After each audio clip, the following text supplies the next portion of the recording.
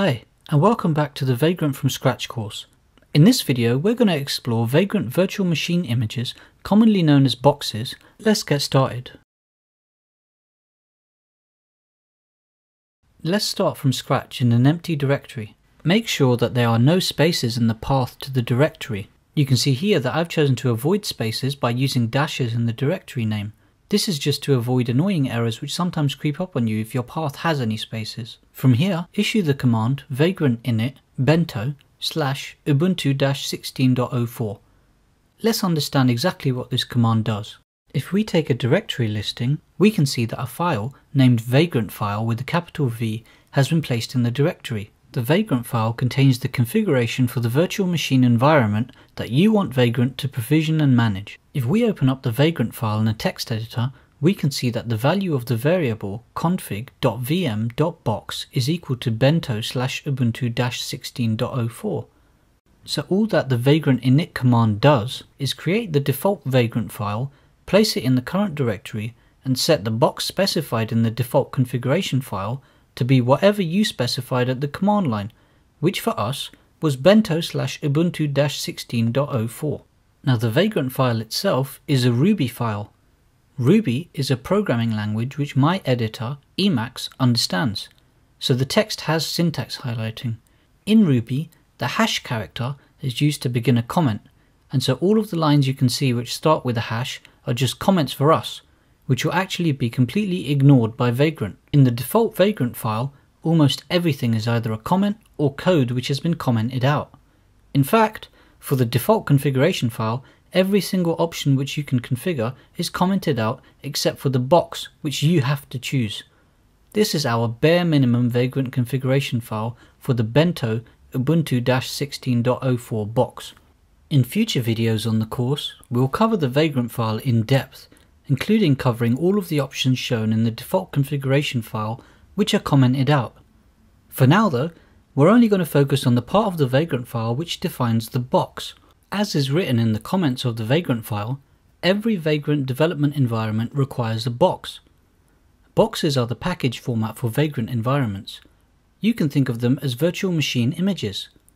The easiest way for you to understand boxes is to take a look at the publicly available catalogue of Vagrant boxes at vagrantcloud.com slash search.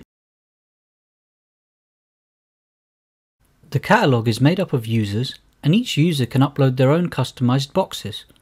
Boxes are uniquely identified by the name of the user, followed by a slash, and then the name of the box. For example, the first box shown here was uploaded by the user Ubuntu and they named it Trusty64.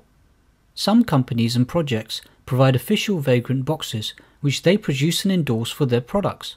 For example, the first box shown is an official Ubuntu box and the second is an official Laravel box. It is up to the user who creates the box to decide which providers their box will support. In our case, in this course, we're using VirtualBox as our provider, and pretty much everyone supports VirtualBox.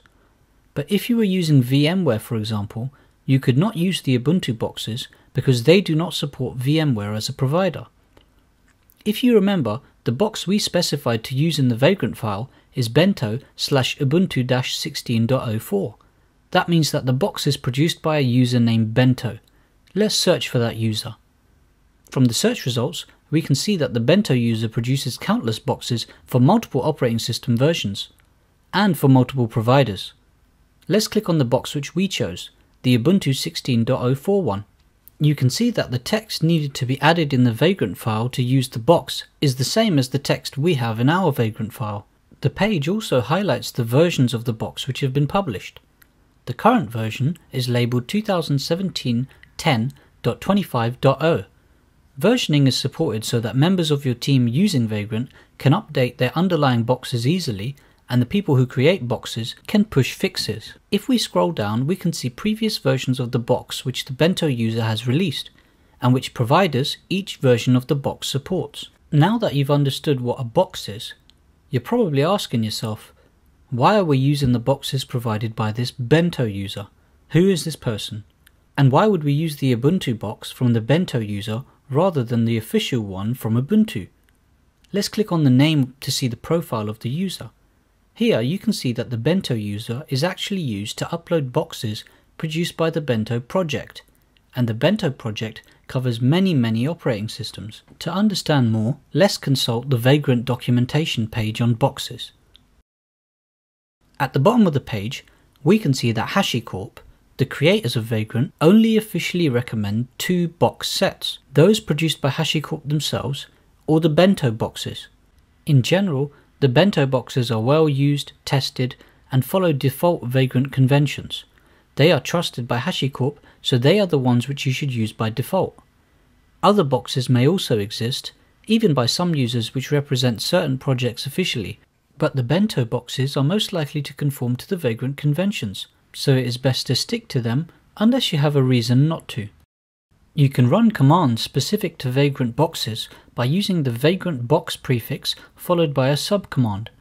Let's run the command vagrant box dash dash help and see what subcommands are available to us. I've given a small description of all of the available subcommands here for those people who are interested to read, but for now we are only going to concern ourselves with three of these commands add, list, and remove.